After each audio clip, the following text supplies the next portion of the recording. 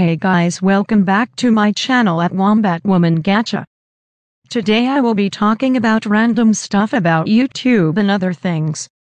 But I will also be playing Among Us in the background. I hope this will turn into my talk series that I will be making more of. So the first thing I want to address is when I post and what content I will start posting. What I have done in the past is a mixing between gacha videos and Roblox vibes as you guys know I'm a faceless YouTuber that does not show their voice either. I will start making more Roblox and gaming content. But I will still be posting gacha trends. Sam and Colby edits are something I will start to make more of maybe. Now I want to talk about the people who inspired me to make my channel Sniper Wolf is a YouTuber who I have been watching ever since I first got YouTube.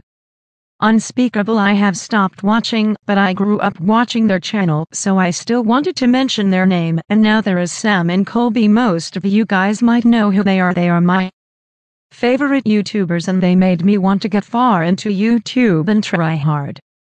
The apps I use I use the apps IBS Paint, CapCut, KineMaster, and other scratching apps. I would really like if you guys could comment on this video about what trends you want me to do too. I hope y'all like my content I mean I'm only 9 away for 100 subs. When I reach 100 subs I'm going to make a really special video.